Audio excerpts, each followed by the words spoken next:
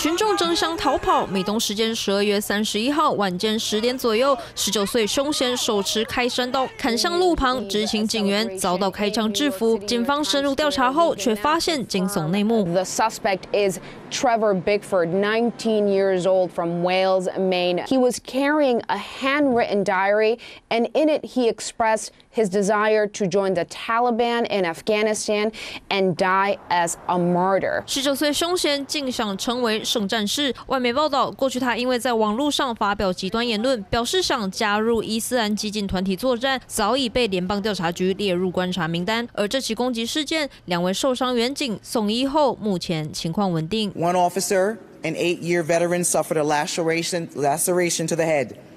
The second officer, who graduated the police academy on Friday, was also struck in the head, resulting in a skull fracture and large laceration. 凶嫌提前抵达纽约，住进下东区一家旅馆，选在新年夜前往时代广场附近行凶，显然早有预谋。检调对此正在扩大调查。Should this be deemed as a terror attack, it would mean that uh, there was an attempted terror attack at one of the most crowded and popular uh, events here in New York City on one of the biggest nights of the year, New Year's Eve. 外媒报道，纽约官方表示，目前并无证实有相关恐攻威胁，但时代广场百万人欢聚跨年，却传出这样的意外，使原本开心庆祝会变得人心惶惶。三立新闻林一涵报道。